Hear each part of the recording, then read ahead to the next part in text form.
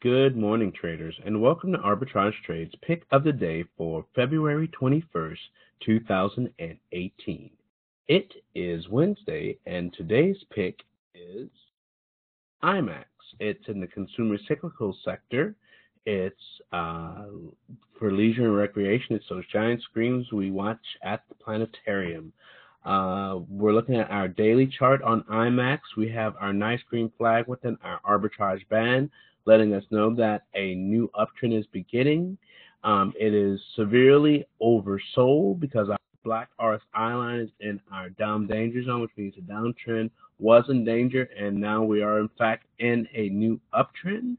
We see our advanced level above the zero line, which means we do have positive momentum in this stock as well. We had a new higher high as early as the 13th of February, and it has followed through with that.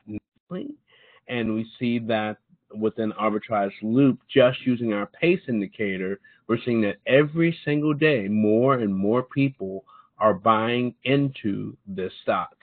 Uh, let's look at the 15 minute chart to see if he shall continue or have a slight pullback before he continues. Looks like he's going to have a slight pullback because the RSI line on the 15 minute chart right now is almost oversold. So look at getting this guy somewhere around 22.90. So, you know, let it drop about 30, 35 cents. Let's go to the minute chart to see exactly how far.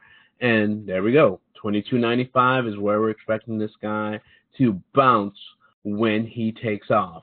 Uh, let's look at the fundamental side. On the fundamental side, he has more than enough volume to support our trade. He does not have a dividend, so I wouldn't add him to my IRA. He has a price target of 27.63, um, and he's currently only 23.25. Uh, let's look at um, arbitrage and back on the daily scale. We see that we have a three to six month target of about $29. And if we go to our weekly scale, we see that he is also at the very bottom of the trend, and the pace is just starting to uh, turn up as well. So we're expecting roughly a three to five year target of about 4260. Thank you for listening, and we'll see you next time on Arbitrage Trades next pick of the day.